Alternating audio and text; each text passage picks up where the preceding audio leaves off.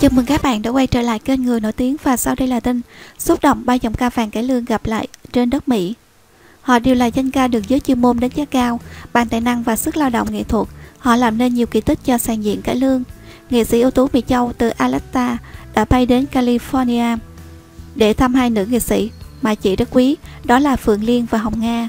Hiếm hoi lắm mới có được một ngày ở bên ba nữ nghệ sĩ mà tuổi đời tuổi nghề đã tạo nên những cung bậc tình cảm dành cho khán giả mùa điệu. Nghệ sĩ ưu tú Mỹ Châu cho biết bà hai tên nghệ sĩ Hồng Nga bị tai nạn ô tô đã gọi điện sau khi đặt chân đến quận Cam, bang California, Mỹ. May mắn chị Hồng Nga chỉ bị chấn thương nhẹ và đã bình phục, còn lấy xe đến nhà người thân của tôi tại quận Cam để đưa tôi đi ăn và hai chị em hàng huyên tâm sự. Phút giây hội ngộ của những nghệ sĩ thuộc thế hệ vàng rất mộc mạc và chân thành.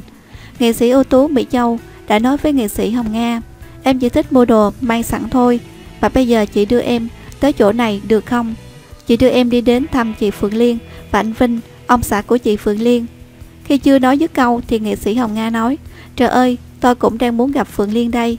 Vậy là hai nghệ sĩ ghé chợ Phước Lộc Thọ để mua trái cây để cúng mẹ của nghệ sĩ Phượng Liên.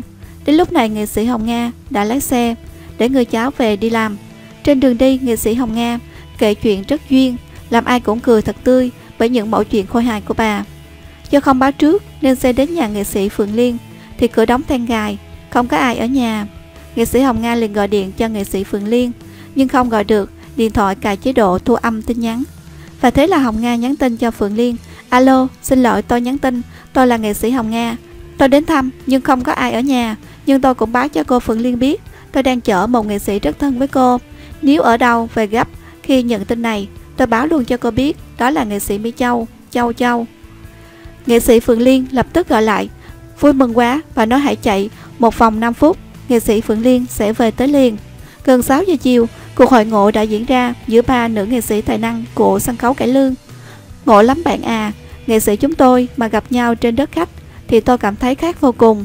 Bao nỗi buồn, bao niềm vui, nó lại thâm thúy hơn và sâu nặng hơn. Chính vì thế, cho dù đã thốt lời từ giả mà dân vẫn không muốn bước đi, nghệ sĩ Mỹ Châu nói với chúng tôi. Thật nhiều xúc động vì cả ba nữ nghệ sĩ đều không còn sức trẻ như xưa, nhưng giọng ca và tình cảm sâu lắng dành cho nghệ thuật cải lương thì lúc nào cũng trẻ. Còn với nghệ sĩ Hồng Nga, bà cười giọng giả, tôi là mẹ của hai cô này từ lúc tôi mới 18-19 tuổi. Các số đóng vai mụ nên toàn đóng vai mẹ của Đào Chánh. Hôm nay hội ngộ nơi đất khách, lòng nhớ về quê nhà. Chuyến bay từ Mỹ đến Việt Nam bây giờ không khó. Cái tình nghĩ đến nhau nơi xứ lạ, bỗng trong lòng người nghệ sĩ như cảm thấy rất là gần với quê hương. Chúng tôi cố gắng nâng niu những ký ức đẹp của cái thời cải lương còn hoàng kim để tri ân tình cảm mà khán giả trong cũng như ngoài nước yêu mến bộ môn này và yêu thích thế hệ nghệ sĩ vàng của chúng tôi, nghệ sĩ Hồng Nga xúc động. Riêng nghệ sĩ ưu tú Mỹ Châu, bà đã rời xa sân khấu từ năm 1995, dừng lại hoạt động nghệ thuật, nhưng khán giả vẫn còn yêu mến những vai diễn để đời, sống mãi trong lòng công chúng của bà. Nghệ sĩ Phượng Liên nói, chúng tôi bây giờ đến thăm nhau là mong còn giữ được sức khỏe, sống thật vui với cuộc sống hiện tại. Ngày hội ngộ nhau trên sàn diễn chắc sẽ khó vì mỗi người có một hoàn cảnh riêng. Chỉ biết cảm ơn tất cả tấm lòng tri ân mà khán giả đã dành cho chúng tôi để nhìn lại quá khứ đầy tự hào của sàn diễn cải lương mà cố gắng sống thật tốt để làm tấm gương cho thế hệ trẻ tiếp nối trên con đường mà chúng tôi đã đi. Chia sẻ xúc động của nghệ sĩ ưu tú Mỹ Châu Nghệ sĩ ưu tú Mỹ Châu đã về nước cách đây không lâu theo lời mời của các nghệ sĩ điêu khắc Thái Ngọc Bình, Nguyễn Văn Đông, Nguyễn Thị Diện để thực hiện việc đo chỉ số cơ thể đúc hai bức tượng sáp với hai vai diễn để đời của bà là nàng hai, vợ nàng hai Bến Nghé và A Khắc Thiên Kiều, vợ người tình trên chiến trận. Đối với bà đó là tin vui để bà có thể gửi lại hình ảnh của hai nhân vật trong hành trang nghệ thuật đến khán giả đã yêu mến bà suốt 50 năm qua. Tôi rất vui mừng và hạnh phúc khi biết khu trưng bày tượng sáp văn nghệ sĩ Việt Nam sẽ khánh thành vào ngày 11 tháng 4 tại nhà hát Hòa Bình, thành phố Hồ Chí Minh.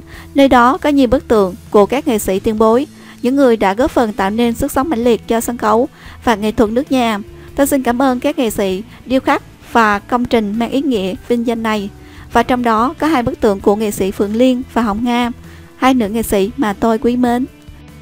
Nghệ sĩ Hồng Nga bị tai nạn xe tại Mỹ Chiều ngày 21 tháng 1 theo giờ địa phương tại bang California, Mỹ, nghệ sĩ Hồng Nga đã bị tai nạn xe ô tô dẫn đến khó thở, đã được nhập viện cấp cứu. Nghệ sĩ ưu tú Ngọc Đáng cho biết Xe ô tô của nghệ sĩ Hồng Nga bị một xe ô tô khác tông vào đuôi xe, làm chị nhức đầu và chóng mặt, đã được đưa vào bệnh viện cấp cứu. Một giờ trước tôi điện thoại hỏi, chị cho biết đã thấy khá hơn, bác sĩ chưa cho xuất viện để tiếp tục theo dõi sức khỏe. Nghệ sĩ Hồng Nga sang Mỹ lưu diễn dịp Tết này cùng nghệ sĩ hài Lê Tính. Trước đó bà sang Canada diễn phục vụ khán giả kiều bào cùng với nghệ sĩ ưu tú Ngọc Đáng. Hơn 70 tuổi nhưng chị Nga sức khỏe rất tốt, một mình có thể hát 8 bài, vừa tăng cổ vừa tăng nhạc, rồi diễn trích đoạn cải lương. Khán giả kiều bào yêu mến chị vì chưa bao giờ chị ca nhiếp, hát hết mình và luôn mang lại niềm vui cho khán giả. Nghệ sĩ ưu tú Ngọc Đáng chia sẻ, sau nhiều năm lỗi hẹn với khán giả kiều bào, năm nay nghệ sĩ Hồng Nga đang ở Mỹ phục vụ kiều bào yêu mến nghệ thuật cải lương. Chị tự lái ô tô đến điểm diễn, chẳng may dẫn đến sự cố này. Tuy nhiên hiện thời mọi việc đã ổn định. Chỉ còn mong sức khỏe của chị ổn định để tiếp tục biểu diễn, phục vụ kiều bào, nghệ sĩ ưu tú Ngọc Đáng nói. Thông tin của kênh chúng tôi cung cấp cho các bạn đến đây là hết. Xin chào và hẹn gặp lại.